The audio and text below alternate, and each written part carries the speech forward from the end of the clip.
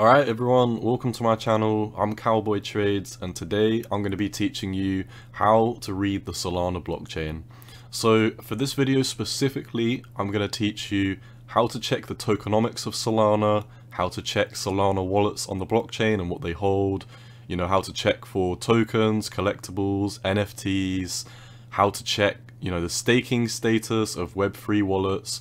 So this will predominantly be for Web3 Solana based wallets like Phantom. If you don't have a Phantom or a Web3 wallet, I've got a video in the description on how to create one. With that said, let's jump right in. Alright, so the main website we'll be using to check for everything on the Solana blockchain will be this website here. So if you want to come over to explorer.solana.com to start with, and we'll start off with the tokenomics, meaning, you know, the supply, the price, etc. So loading into explorer.solana, we can currently see the circulating supply of Solana is at 62%. We can see the active stake is 388.6 million and the price is $90. So that is how we check for the tokenomics. So now we'll learn how to check Solana wallets on the blockchain, how to check for tokens, collectibles and NFTs. So for this example I'm going to use one of my Solana wallets, so you simply want to copy and paste your Solana wallet into this search here. So this is one of my Solana wallets, you can see all we do is search it and click on account. So once we click on account, you can see the current balance that I have on Sol, not including the staking amount.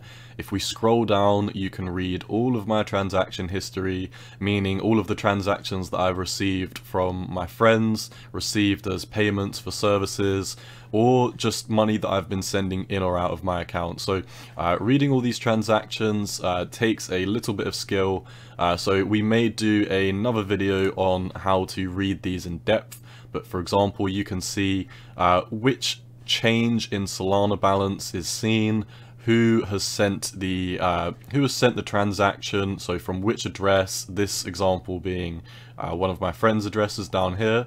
Now if we want to look for the tokens NFTs and collectibles what you want to do is you want to click on tokens here. So all of these tokens here include you know all of the transaction history for all of the tokens that I've sent and received and they receive all of the uh, collectibles, all the NFTs that I own. So for example, in this video, I'll be trying to find my Degenerate Ape Academy NFT, which is my favorite NFT. So uh, you can scroll through this website and you can kind of see all of the token holdings that I used to have. So for example, if we click on this dragon, you can see that previously it said I didn't hold this NFT. This was an NFT that I made an offer for that didn't get, you know, filled or they, they never accepted. So uh, you can see that the total balance says zero for these NFTs that I don't hold anymore or that I've sold or moved to a new wallet. If we scroll down, you can see the Degenerate Ape number 2125 here, and you can see that the total balance is 1. Obviously there is only one of this NFT, so we'll click on it and see what's going on here. So nice, we can see the mint authority, who has the authority on minting this. We can see, you know, the original image of my ape. We can check that, that you know, this is a, a verified listing. And if we come down to transfers, you can see all the times that it has been transferred to and from different addresses.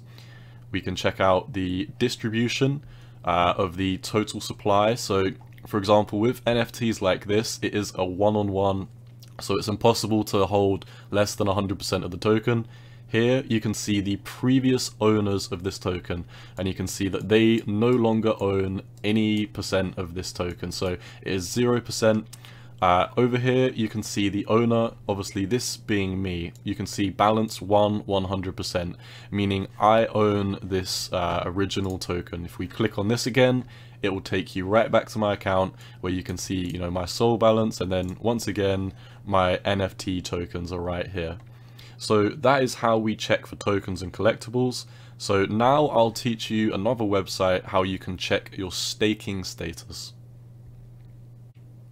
So to check the staking status, just make sure that you have your wallet address copied and then come over to the search and search solstake.io and you can see this website here will pop up. Like I said, I will put the links to all of these in the description. So with this website, you can see the current epoch. Epoch meaning moment in time in computing. So this is how many epochs that Solana has currently been through. Epochs are roughly 2.6 days um, or closer to three days. But you know they do vary they do vary and they will change over time when the epoch status goes up. So what you want to do is you want to paste your wallet address into here. And you'll see you know the wallet balance that you have that is not staked and then you will see the balance that you have staked. And you can see this little pie chart here which will show you your balance compared to the total staked. So I only have one staking account right now. I used to have a bunch of them, but I removed all of them and compiled them into one. So you can see we have one staking account that was delegated on the Epoch 281. You can see we're currently on 283, so I've had about one Epoch worth of rewards and that is because it takes a full epoch to verify your account. So my account was verified and started earning rewards on the 282nd epoch. We're now on the 283rd, so when this completes in, you know, 19 hours, I will have my second set of rewards. So you can see the rewards down here, these are compounded every, you know, two and a half to three days, and you can see that in this epoch, epoch 282, I received, you know, almost 3% of a Solana. Now, what will happen is those rewards will stay how they are for the current epoch.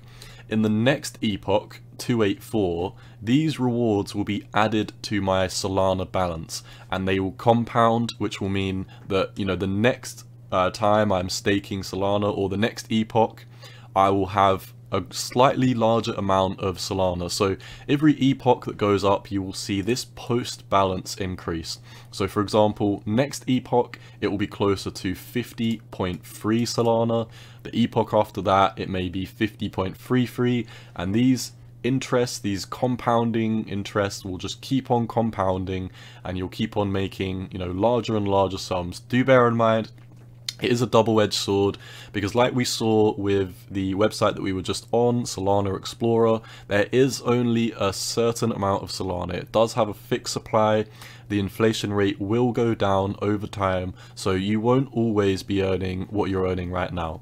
Uh, if we do come over to the re rewards on here as well, you can see that I have delegated, which basically means that I have set up a staking account to receive rewards. Down here on the rewards, once again you can see what you've earned and you can see your current annual percent rate, which is 6.95. But do bear in mind this is compounding interest, so it will be slightly higher than 6.95. 6.95 would be the interest you received on your 50.28 Solana, but do bear in mind, every three days you're going to receive interest, and that interest will begin gaining interest on top of interest. So that is basically it for this video. We've now learned how to check the staking status, how to check for tokens, how to check Solana wallets, and the tokenomics on the blockchain. So that's everything for this educational video. I just want to take a moment to say thank you for watching if you did make it all the way through this video. If you like the content and you learned something, please leave a like and a comment. And if there are any more educational content that you would like me to cover, be it, you know, to do with Solana, Bitcoin, any crypto of your choice, I'd be more than happy to, you know, listen to your input and take it into consideration for my next educational content. So once again, thanks for watching, Cowboy out, peace.